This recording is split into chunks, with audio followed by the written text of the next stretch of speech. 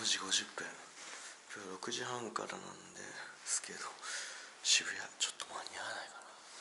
ギリギリだな。朝の倫理法人会に行ってから新宿塾。でうちの塾島のバースデーパーティーです。バースデーじゃない。CD の発売記念かな。新宿朝9時。こんなに早く来たのも結構久しぶり。さあ今もうちょっとで3時です。これからえー、っと塾を行ってからニューオータニへ。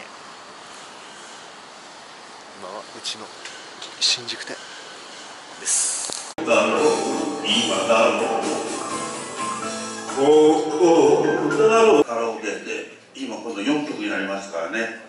なぜ4曲にしたかっていうと飯塚って歌手名で変換すると私が一番なんですよ。次が五木ひろしなんだよ。俺が200曲ぐらいあんだよ。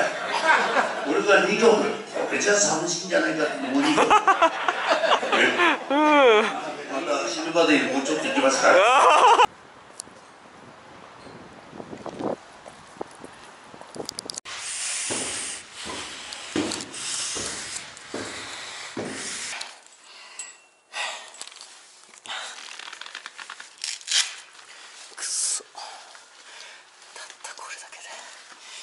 そた